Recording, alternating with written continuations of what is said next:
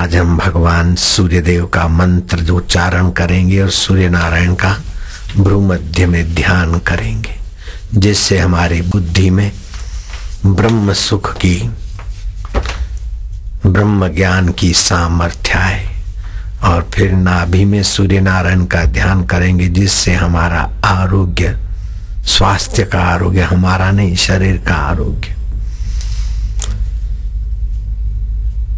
सूर्य उपासना और सूर्य किरणों का सेवन, सूर्य देव का ध्यान।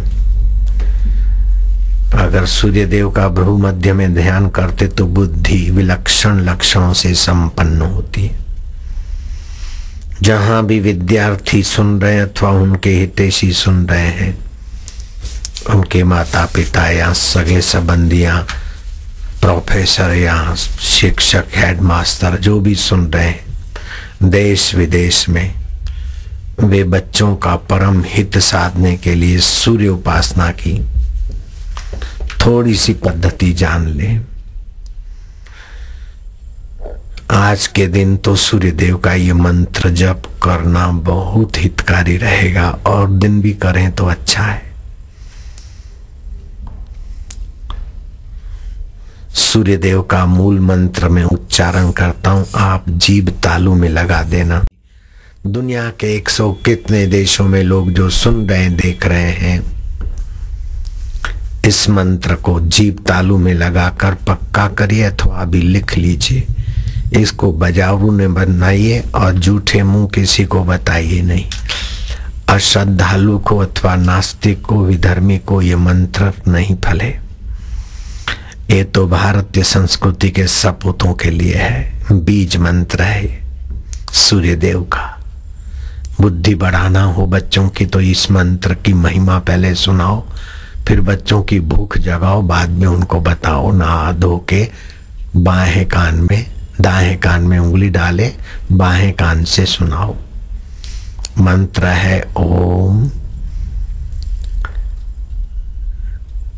ह के नीचे रेफ और ऊपर बिंदी और मात्रा।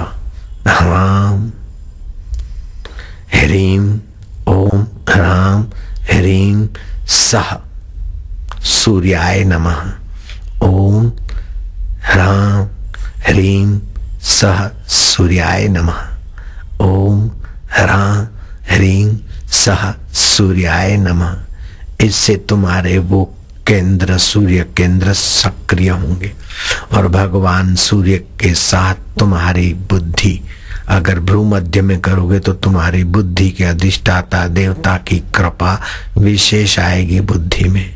अगर नाभि में सूर्य देव का ध्यान करोगे तो आरोग्य केंद्र सक्षम रहेगा। आप बिना दवाइयों के निरोग रहोगे, जैसे बापू और बापू के बापू लीलाशाह भगवान रहते थे।